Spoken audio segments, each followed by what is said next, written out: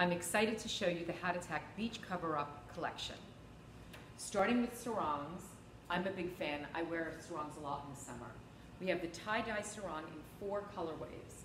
Black, pink, this teal green, that the color ombres, and blue. And two Turkish cotton sarongs, the charcoal natural, it has this uh, border stripe on the, on the end, and chambray natural also with the border stripe. We've got our Avery caftan. I lived in the caftan this past summer. Navy cream, a more narrow black and cream stripe,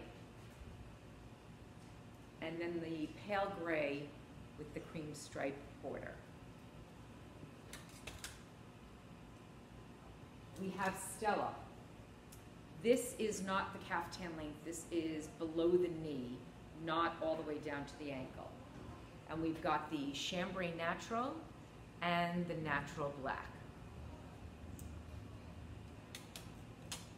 Our printed cover-up, very flowy, really pretty in the navy and in the lighter blue.